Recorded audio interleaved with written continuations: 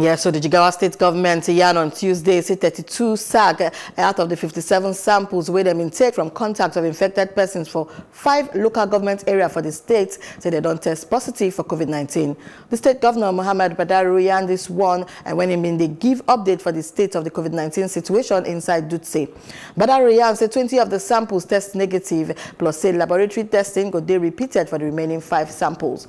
The governor yarn journalists say contact tracing don't already start and the plan they ongoing to take transfer the new cases to isolation centres.